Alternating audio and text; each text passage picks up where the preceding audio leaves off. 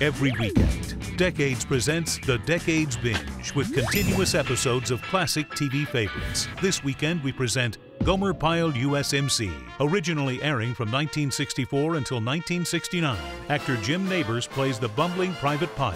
In 2001, Nabors was made an honorary member of the actual Marine Corps. Enjoy Gomer Pyle USMC this coming weekend on The Decades Binge.